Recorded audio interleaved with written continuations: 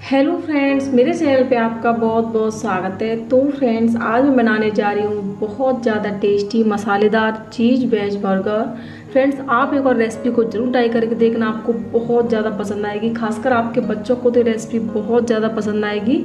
और सिर्फ़ 10 से 15 मिनट में बन के तैयार हो जाती है। जब भी कुछ चट्टा सा टेस्टी सा खाने का मन कर रहा है तो आप ये रेसिपी ज़रूर ट्राई करें। तो चलिए इसको ना स्टार्ट कर लेते हैं। तो उसके लिए मैंने यहाँ पर ले लिए हैं तीन बर्गर बन आपको जितने बनाने हैं उतने आप ले लीजिए। अब हम क्या करेंगे? चलते हम गैस की तरफ़। तो हम रखेंगे यहाँ पर गैस ऑन करके एक पैन और मैं इसमें डाल रही हूँ यहाँ पर ये एक चम्मच ऑयल आप कोई भी कुकिंग ऑयल ले सकते हैं, जो भी आप यूज़ करते हैं। ऑयल को अच्छे से गर्म कर लेते हैं। ऑयल अच्छे से गर्म हो चुका है तो मैंने यहाँ पर ले लिए हैं चार से पाँच लहसुन की कलियाँ, जिनको मैंने इस तरह से बारीक चॉप कर लिया है। आप चाहे तो यहाँ पर पेस्ट भी डाल सकते हैं, बट मैं यहाँ पर इस तरह से फ्रेश डाल रही हूँ, क्योंकि फ्रेश डालने से ज़्यादा अच्छा टेस्ट आता है। अगर आप लहसुन नहीं खाते हैं तो आप इसको स्किप कर सकते हैं। पाँच से छः मैंने यहाँ पर ले लिए हैं करी पत्ते। ये डाल देंगे, इनसे भी बहुत अच्छा फ्लेवर आता है और करी पत्ते हमारी हेल्थ के लिए बहुत ज़्यादा अच्छे होते हैं तो आप इसको सब्ज़ी वगैरह में ज़रूर यूज़ किया करें। थोड़ी सी मैंने आप बारीक कटी हुई सारी सब्ज़ियाँ ले ली हैं। अब इसमें सबसे पहले हम डाल देंगे प्याज। प्याज को अच्छे से हम इसमें मिक्स कर लेते हैं। प्याज को हमें बस हल्का सा सॉटे करना है, यानी कि गोल्डन ब्राउन नहीं करना है, बिल्कुल सब्ज़ी की तरह नहीं पकाना है, बस हल्का सा हम सॉटे करेंगे, क्योंकि थोड़ा बहुत सब्जियों का क्रंचीनेस रहेगा, तभी अच्छा लगता है खाने में। तो ये देखिए, इस तरह से मैंने प्याज को हल्का सा लाइट पिंक कर लिया है, हल्का सा सॉटे कर लिया है, बहुत ज़्यादा हम इसको नहीं पकाएँगे।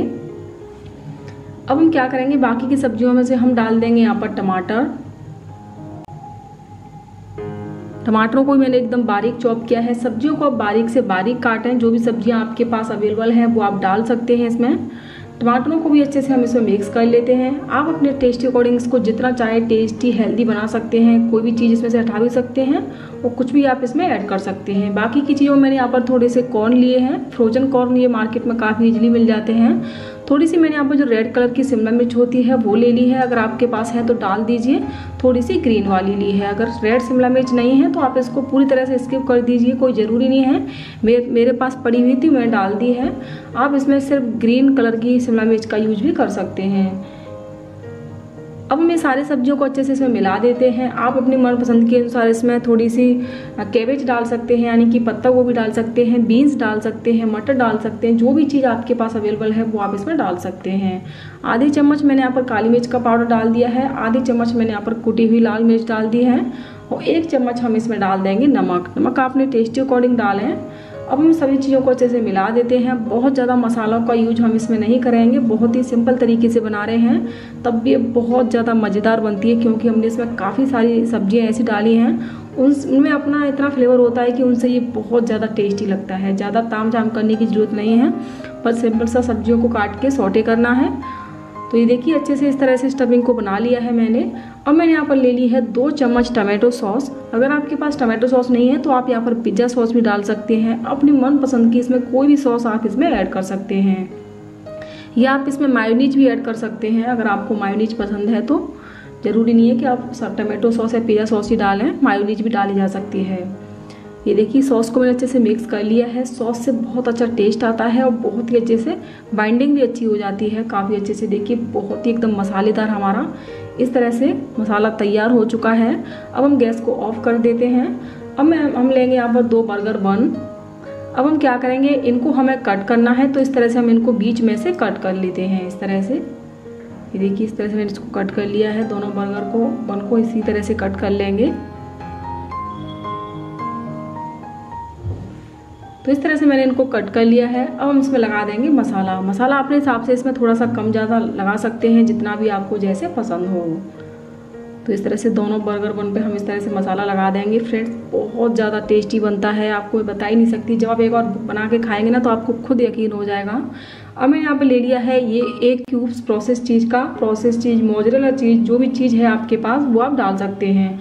अगर आपके पास चीज़ नहीं है तो जो नॉर्मल पनीर आता है ना मार्केट से हम सब्ज़ी बनाते हैं, वो भी आप ग्रेट करके डाल सकते हैं। कुछ भी नहीं है ना तो आप सिंपल बना लीजिए, तब भी बहुत ज़्यादा टेस्टी बनता है।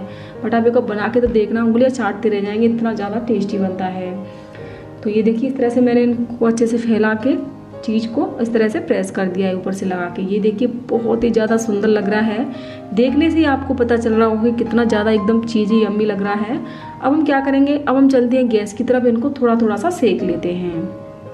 तो हम रखेंगे गैस ऑन करके सेम पैन, जिसमें मैंने अभी मसाला बनाया था, वही पैन रखनी है, क्योंकि इसमें अभी मसाले का फ्लेवर चिपका हुआ है तो उससे टेस्ट बहुत अच्छा आ जाएगा, इसलिए मैं वहाँ पर सेम पैन यूज़ कर रही हूँ। आप दूसरा पैन भी ले सकते हैं।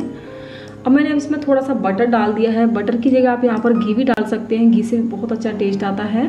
और इस तरह से हम इसमें एक बर्गर को रख देते हैं। ये देखिए, इस तरह से मैंने इसको सेक लिया है नीचे से। सिर्फ़ एक मिनट का टाइम लगता है। इससे क्या हुआ कि चीज़ भी अंदर से थोड़ा बहुत मेल्ट हो जाएगा। और ये अच्छे से सेक जाएगा। तो गर्मा गर्म जब आप तवे से निकला हुआ ये खाएँगे ना तो बहुत ही मज़ेदार लगता है। तो इस तरह से मैंने एक सेक लिया है, इसी तरह से हम दूसरा भी सेक लेते हैं। एकदम गर्मा गर्म निकलता हुआ आप खाइए तवे से तो बहुत मज़ेदार लगता है अंदर से एकदम चीज़ी, मसालेदार और एक ऊपर से थोड़ा बहुत क्रिस्पी सा, बहुत ही मज़ेदार लगता है। गैस आप एक बार बना के ज़रूर देखना। तो ये देखिए, इस तरह से मैंने यहाँ पर दूसरे को भी सेक लिया है, दोनों साइड से। एकदम प्यारा सा कलर आ चुका है। अब हम गैस को ऑफ़ कर देंगे और इसको भी हम बाहर निकाल देते हैं। तो ये लीजिए, हमारा गर्मा गर्म नाश्ता बन के तैयार हो चुका है। तो आप भी एक बार रेसिपी को ज़रूर ट्राई करेंगे। आपके बच्चों को तो खासकर बहुत ज़्यादा पसंद आएगी। अगर आपको मेरी रेसिपी अच्छी लगी तो मेरी रेसिपी को लाइक मेरे चैनल को सब्सक्राइब करें एंड शेयर करें। फिर मिलेंगे अगली रेसिपी के साथ। तब तक के लिए बाय बाय